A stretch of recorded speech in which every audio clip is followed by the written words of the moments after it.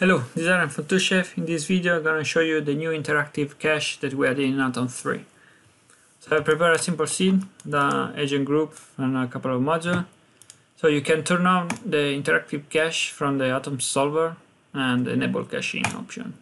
Now if I press play, Atom's just uh, cache the simulation memory. So when you when it, uh, Maya try to play again, it will use the, the caching memory instead to resimulate everything and obviously you can scrub the, the timeline if you want to check the full simulation. And as soon as you change some parameter here on the agent group like uh, let's change number of agents